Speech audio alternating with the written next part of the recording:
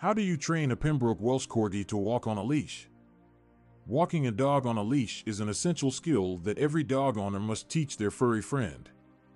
A well-trained dog who can walk politely on a leash is not only a joy to be around, but also a safer companion.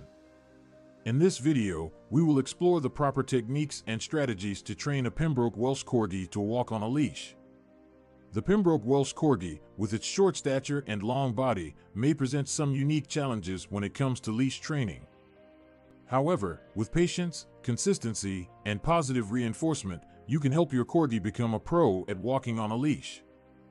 Here are some steps to follow for successful leash training. 1. Start with basic obedience training. Before you embark on leash training, ensure that your Pembroke Welsh Corgi has a solid foundation in basic obedience commands such as sit, stay, and come. These commands will come in handy during leash training and create a better understanding and communication between you and your dog. 2. Introduce the leash gradually. Allow your corgi to get used to the sight and presence of the leash before attaching it to their collar. Leave the leash on the ground during playtime or mealtime so that they can investigate it and get comfortable with its presence. 3. Get the right equipment. Choosing the right leash and collar or harness is crucial for a comfortable and safe walking experience. For a Pembroke Welsh Corgi, a harness might be a better option as it distributes the pressure evenly and reduces strain on their sensitive neck and back. For positive reinforcement, reward-based training is the most effective way to teach your Corgi to walk on a leash. Use treats, praise, and affection to reward them for following your commands and walking nicely on the leash. Be consistent and lavish praise on your Corgi when they exhibit the desired behavior. 5. Start indoors. Begin training your Corgi indoors in a quiet and familiar environment. Attach the leash to their harness or collar and let them drag it around while you supervise. This will help them get used to the feeling of the leash without any distractions. 6. Practice in the backyard. Once your Corgi is comfortable with the leash indoors, move the training to a secure backyard or garden. Keep the training sessions short and gradually increase the duration as your Corgi becomes more comfortable.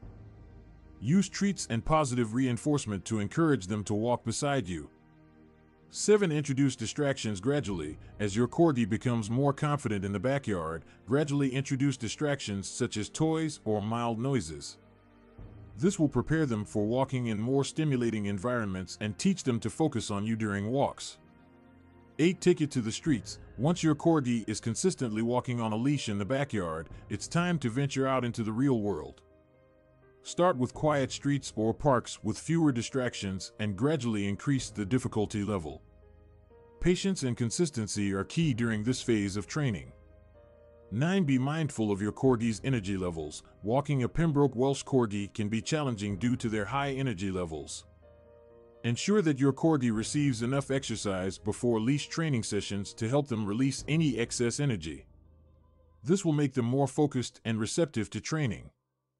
10. Seek professional help if needed. If you are struggling with leash training or your corgi is displaying stubborn behavior, don't hesitate to seek help from a professional dog trainer. They can provide guidance tailored specifically to your corgi's needs and help you overcome any challenges. In conclusion, training a Pembroke Welsh Corgi to walk on a leash requires patience, consistency, and positive reinforcement. By following a step-by-step approach, you can help your Corgi become a well-behaved and enjoyable walking companion. Remember to create a positive and rewarding experience for your dog, and you'll soon enjoy peaceful walks and adventures together.